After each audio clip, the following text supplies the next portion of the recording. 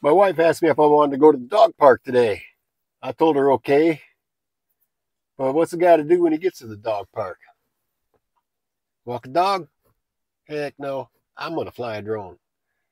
Let's go see if I can get chewed out by the blue haired, pink haired, green haired people. Let's go. Let's have some fun.